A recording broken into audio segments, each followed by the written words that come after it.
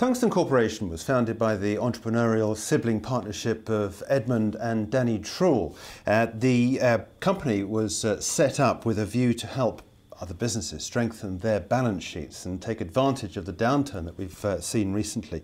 Tungsten has announced its intention to float here in London on the alternative investment market and it's hoping to raise 160 million pounds in the process. Uh, and it's also undertaken a deal to buy business to business invoicing company uh, OB10 for just under 100 million pounds. Well, Eddie Truell is with us now to talk us through the deal and the flotation. It's good to talk to you. It's interesting that you want to come to a market uh, just at this time. Explain a bit more about what tungsten is about. Absolutely. We've acquired this, as you say, business to business invoicing, processing business. It's the largest in the world. It services about 120 very large multinationals Unilever, Nestle, Tesco, the US Department of Veteran Affairs, you name it, those really major multinationals process their invoices over this electronic platform. And then there are thousands of suppliers that go onto that web portal, put in the details, and then when their goods arrive and they're approved to pay, they'll get paid through the portal. So it's a, it's a very slick way of doing things.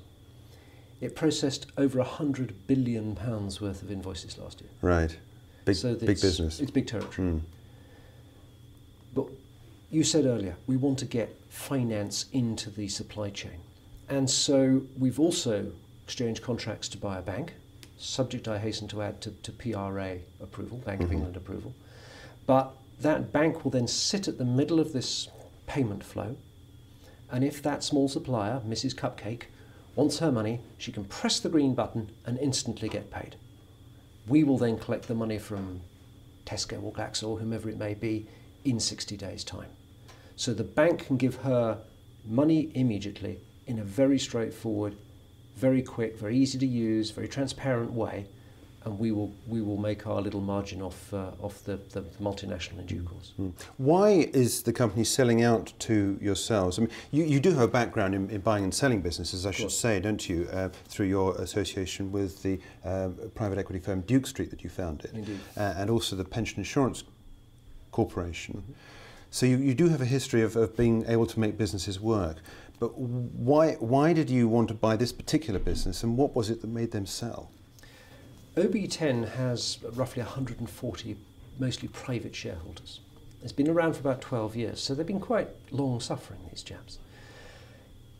It's a sizable business, but bluntly, it doesn't make as much money as it should do. It gives a very high quality product away at too cheap a price. So one of the challenges it faced was how to monetize that stream of, enormous stream of, of invoices and flows over its platform.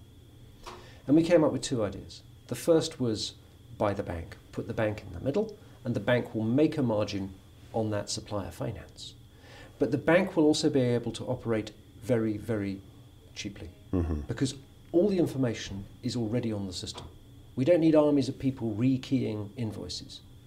We don't need armies of people ringing up Tesco to find out whether the invoice is genuine or not. It's all there. And the second way of monetizing it is actually um, we've got a license from a, a business that I think uh, you uh, interviewed the chief executive of sometime uh, a few weeks ago, which is called At UK. It's another right. small um, AIM listed business. Mm. This is tungsten analytics, isn't Correct. it? Correct. Yeah. And that analytical software will enable us to analyze the hundreds of billions of pounds worth of invoices and help the buyers buy more intelligently, buy, buy smarter. Hmm. And so we expect to get analytical based revenues as well as the invoice financing revenues, as well as the transaction revenues. Hmm. If I go back to my private equity roots, yes, it was a successful exercise. I averaged about a 30% per annum compound return, so right. my investors were happy. Right. Where did we make the most money? Was where we harnessed technology, where we harnessed new business ideas and applied them to large existing markets. Good example might be Getty Images. Right. Well known business mm. now, but it, it was literally incubated in our office.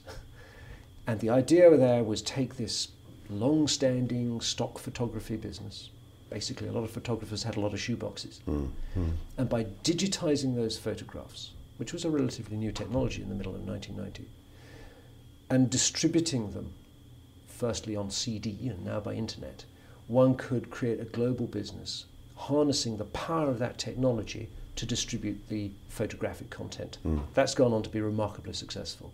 But it's a good example of how you put the two things together and you can have a good result. Mm. There's been much speculation that you're in the market to buy something else. Is that the case? We've been looking for a year and a half to find the right businesses to buy. And I emphasize businesses. We're not in the game of buying distressed mortgage books or something like that. We looked very hard at motor insurance, an industry that, should we say, is in need of some change. And we had some radical ideas about that. But it turned out in the end that we couldn't actually acquire the business we wanted to acquire. And so we've uh, reverted back. In fact, I say reverted back since we've been looking at OB10 for more than two years. Mm-hmm. Right, so you're going to raise this 160 million uh, on the London flotation. Mm-hmm. Uh, will you be need to raise any more money at any point, do you think, or is that going to be sufficient? I'd like to think we will need to raise more money in the future. Um, if the bank is as successful as we'd hope it to be, it will then require more capital, more solvency capital, to supply even more finance to the small, medium-sized supplier. Mm. Because we aim not only to do it in the UK, but to go international in the, in, in, in the very sort of close part of the business plan. Mm. I'd like, if I can, to go back and ask a little bit about your, your, your background because um, you sold out of Duke Street uh, several years ago, but you still do have an interest in the Pension Insurance Corporation. Um, is that going to continue or are you going to be focusing on, on tungsten exclusively? Set up PIC five or six years ago, again with my brother. Um, our charity is actually the promoter of Pension Insurance Corporation, and the charity still has a very significant interest in PIC. PIC was at the time perhaps the world the biggest startup in the UK. We raised about 900 million pounds of capital. It's gone extremely well. I would estimate it has about 9 billion pounds of assets today. Where, where do you see Tungsten Corporation in, let's say, a year's time? We would hope, obviously assuming we get this float away, assuming that we do get the regulatory approval to buy the bank, that we will have consolidated the world's largest electronic invoicing network, adding more multinational buyers. And at the same time, we'd hope by then the bank will be very much up and running, not just in the UK but abroad as well, supplying hopefully millions of pounds worth of finance to, to the smaller suppliers that, that need the cash. Just press the button and you'll get the money. Okay, well, it's a pleasure to talk to you. Thanks for joining us. Super. Thank you. Eddie Truell is uh, one half of the partnership that founded Tungsten Corporation.